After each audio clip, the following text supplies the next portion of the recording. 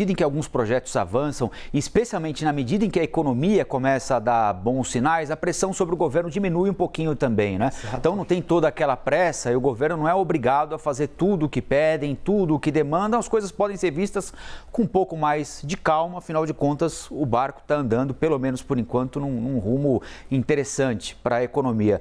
Nessa semana, nesse fim de semana, né, Uribe, houve uma campanha enorme em redes sociais de esportistas, de gente ligada ao esporte, em defesa da Ana Moser, que é uma ex-atleta, não só, é uma gestora também, envolvida com a política já há muito tempo, não é? E uma tentativa do, do, do segmento que representa o esporte de é, sustentar a Ana Moser no cargo na medida em que aumenta a possibilidade de que ela seja substituída por um político e um político do, do republicanos.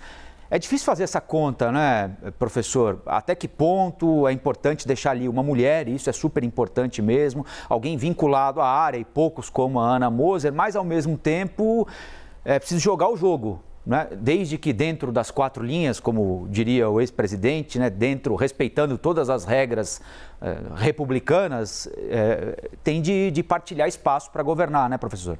Tem. Aí é o chamado pela trigésima milionésima vez o chamado presidencialismo de coalizão. Primeiro um artigo do Sérgio Abranches, depois um livro, muito bom por sinal, ah, chamado que leva o mesmo título, Presidencialismo de Coalizão, que ele faz aí uma história da República. Agradeço, inclusive, que na parte do governo Collor me cita 12 vezes positivamente. Muito obrigado meu livro sobre o governo. Agora, e que eu acho muito competente, alguém muito competente. A questão do Ministério do Desenvolvimento Social. Esse é um ministério de ouro. Não tem ministério que são prata, bronze, tem ministério que são ouro. Porque isso tem o Bolsa Família. É bom lembrar que o MDS ele começou a funcionar mesmo quando o Patrus Ananias foi para lá. Patrus Ananias, alguém pode falar de tudo dele, mas é uma pessoa competente e honesta. Foi um excelente prefeito de Belo Horizonte e foi quem impôs de pé o Bolsa Família, que não é simplesmente uma somatória daqueles programas anteriores do governo Fernando Henrique, é muito mais do que aquilo, né? Criando um cadastro e todo aquele trabalho muito bem feito por ele. Isso acabou se, se desorganizando a posteriori, né? É, especialmente no último quadrênio presidencial, que não, não tinha cadastro para auxílio emergencial. Quantos milhares e milhares de pessoas não receberam os 600 reais mensais do auxílio emergencial, como a mulher do Daniel Silveira, por exemplo, entre tantos outros, né?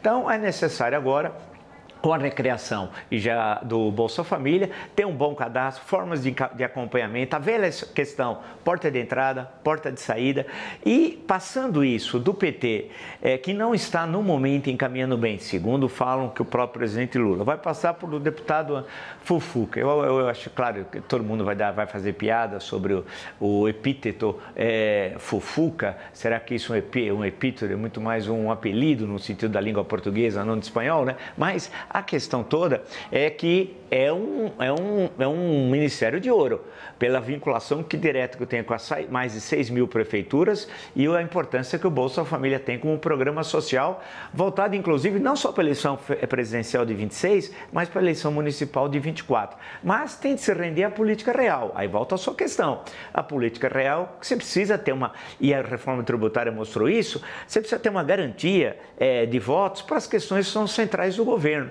Tem certas derrotas que são secundárias e pouco importantes.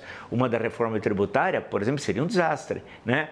Então, e tem questões fundamentais. O orçamento, para mim, a questão mais importante do segundo semestre, na minha leitura, é o orçamento. Para onde vai o nosso dinheiro? O meu, o seu, o nosso tal.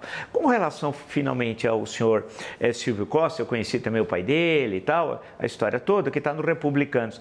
Poxa, o Republicanos deu um número de votos é, fantástico na hora da aprovação, né? A reforma tributária. Acho que, se não me engano, de 38 deu 36 ou algo parecido. Né?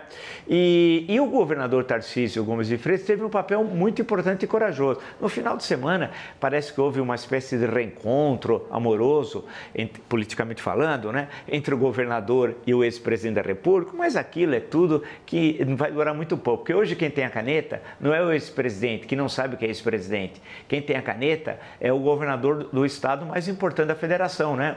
O PIB maior que a Argentina, um quarto, um quarto do eleitorado, etc. É a maior bancada federal, 70 deputados federais, etc, etc, etc. Então, a questão que se coloca, que o Ministério do Esportes, eu entendo até a grita de alguns, mas ele tem uma capilaridade assim fantástica. Então, é necessário entender que esse é um governo de frente ampla democrática. Enquanto não se entender isso, por exemplo, eu vi a entrevista do governador Helder Barbalho aqui à CNN, né? a, governador do Pará, sobre a, a COP30 que vai ser em Belém do Pará. Pô, a entrevista foi excelente e a discussão da economia verde. Esse é um grande tema, isso que nós queremos discutir. Então, a questão que algumas, eh, algumas eh, correntes do PT não entendem é que 2023 não é 2003. Primeira coisa, nós estamos falando isso ó, há muito tempo. Segundo, é um governo de frente ampla democrata. Terceiro, o último quadrênio presidencial destruturou toda a máquina administrativa de Estado. Quarto, a economia, e vocês sacaram, a economia está dando sinais de recuperação. E um sinal maior, e ela vive de boas expectativas, é essa reforma ministerial concisa. Ah, mas vai ter, vai ter corrupção no MDS, na Bolsa Família, porque vai estar. Eu já ouvi a gente falar para mim, vai estar o PP lá você tem toda a estrutura, você tem a CGU, que é tão eficaz, tantas estruturas de Estado, o Ministério Público Federal, que é uma instituição independente, evidente, mas para controlar tudo isso. Eu acho que a reforma ministerial ela é indispensável para completar a vitória que foi a vitória, foi a, a, aprovação da reforma tributária na última semana. Ela é condição indispensável.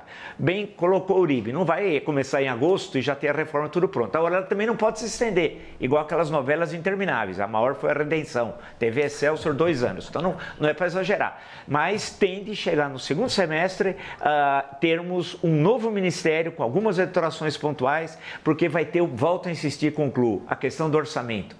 Para mim, o orçamento é questão vital. Para onde vai o dinheiro? E isso é central, que vai ser pela primeira vez que esse governo fará seu orçamento. O orçamento veio do governo anterior. Então, aí você precisa ter uma base já mais concreta, mais é, que você tenha confiança.